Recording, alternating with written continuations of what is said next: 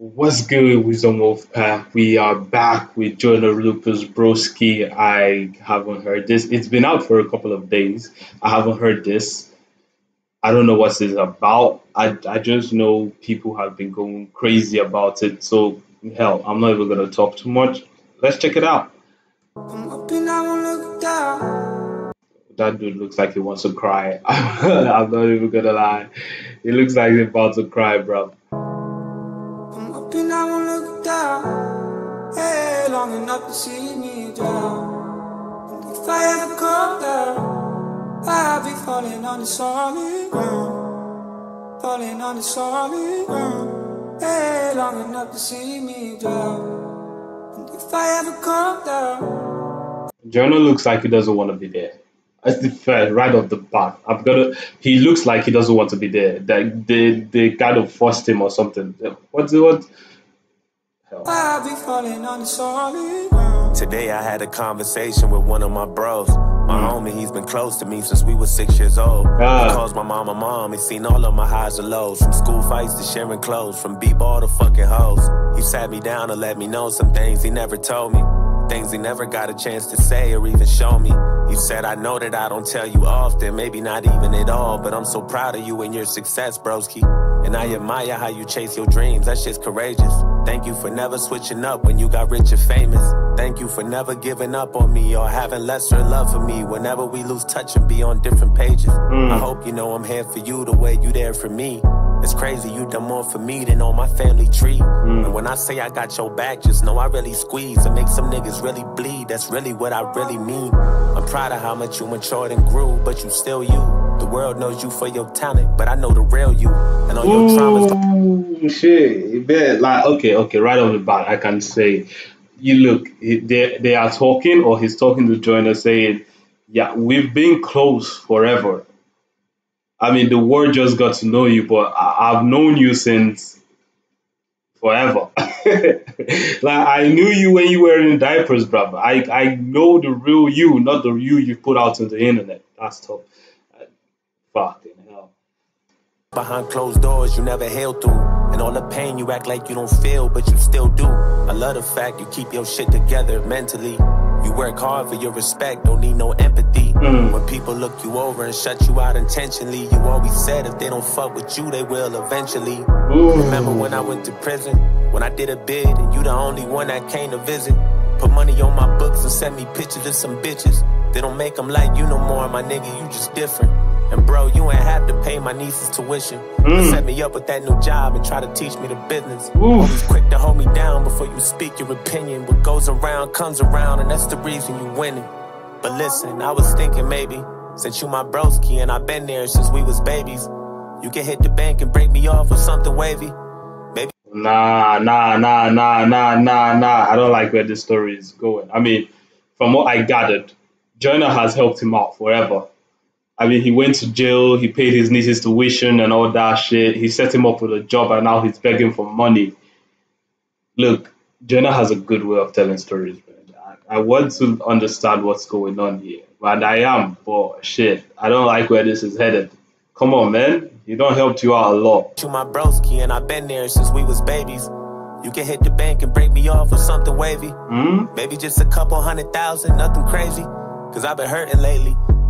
A couple hundred thousand is nothing crazy. Are you in? Hey. I deserve it, maybe. And if you can't do it, that's cool. It ain't like I'll Did he say he deserves it? And I deserve it, maybe. And if you can't do it, that's cool. It ain't like I'll be angry. You still my broski and I love you, but that's kinda shady. Cause I've been going through some shit. It ain't like I'm just lazy. So maybe you should pay me. I quit my job. Cause oh, hell nah. Oh, hell nah. Oh, hell nah. Now he's acting entitled as hell shit, he deserves it, man. Joyner, he don't work his ass off, man. While you was going to jail, he was working his ass off, man. What you talking about? What the fuck are you talking about, man? What on earth are you talking about? Come on, Cause I don't want to work for no other niggas. Well, maybe works for some, don't work for some other niggas. Yeah, they pay good, but you know I'm a stubborn nigga. Plus, mm. I know you got my back, right? If not, then fuck it, I ain't asking again. Just don't forget who walked with you when you're back to the wind. And don't forget whose ideas I got you rapping again when you lost your passion and got lazy and was slacking and shit.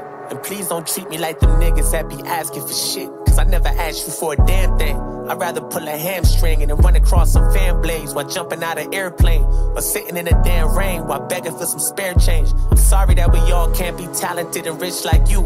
The little people still struggle, we ain't lit like you. And if we being honest, it don't really seem like you want me to chase my dreams so I can get like you. And lately you've been on some sucker shit, that's what I see, broski. I hope you know that hater shit is a disease, broski. Cause last time I checked, we was a fucking team. And just because you got paper don't mean that you better than me, broski. I know everything about you. I know every single secret. I know where you rest your head at. I know every bitch you sleep with. I know where you keep your bread at. I pretend that I don't see shit. You a greedy motherfucker. You been hoping I don't beat shit. You been getting fat while I've been starving. You been buying every car and house while I've been in the garbage. I deserve everything you got and more, and that's a bargain. You just wanna shit on me and see me falling. That's alarming. You just hoping I'ma tarnish. You don't want me to be nothing. You don't wanna open doors for me. You did a little something, but you could've did a little more for me. No wonder why your father turned his back on you, unfortunately. No wonder why your niggas set them traps on you to sorcery. You ain't nothing but a phony. You a liar. You a snake, and you can rap, but you ain't Kendrick. You ain't Cole. You ain't Drake. Can't believe I called you family. I should shoot you in the face. You used to act like you was real, but always knew that you was fake. You let the fame get to your head and all it did. Nah, this is where friendship turns to entitlement. Like Joyner has been his friend, has helped him out. Now he see what he sees what Joyner has, and he's like, I deserve that. He has seen Joyner grow since he was six to where he is now. He has seen Joyner work his ass off. He has seen people put him down for his art and his music and now you ask for share and he ain't even answered you yet. He hasn't even answered, and you are already feeling entitled, saying if he doesn't give you, and now you're threatening him with a gun, man. That is foul. This man was there for you, brother. Come on, man.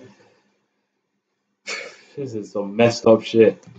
It was made you whack. Always knew the day would come when you would stab me in my back. One day your money gonna be gone and I'll be happy. That's a fact. And then you'll move back to the hood and I'll be laughing when you back. But you my nigga and I love you. And I wanna see you win. I wouldn't place no one. Hey, can you see the passive aggressiveness with this shit?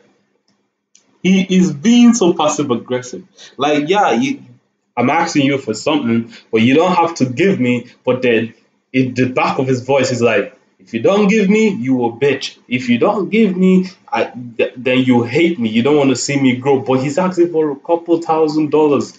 That is mental. He set you up with a job and you say you don't want to work it, man. That is fucked. Above you, and you always been my friend since we was stepping in the puddles. Real niggas don't pretend. Cause and watch how he keeps reminding him how they have always been friends.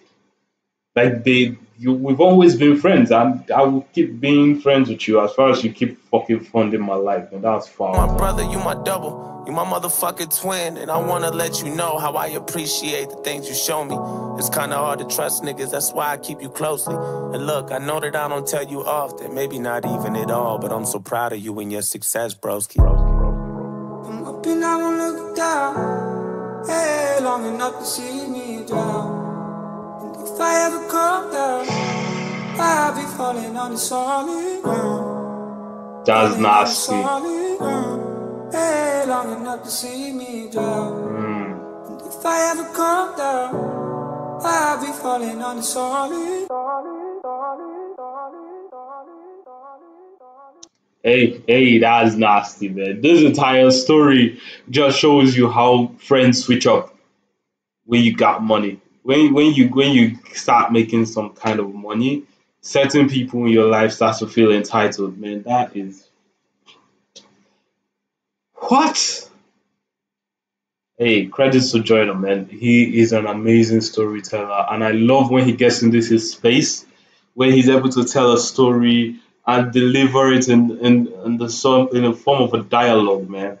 He did it with um um I'm not racist beautiful song. Even when he tries to have dialogues with God and like devil's work and shit. Hey, and I'm gone.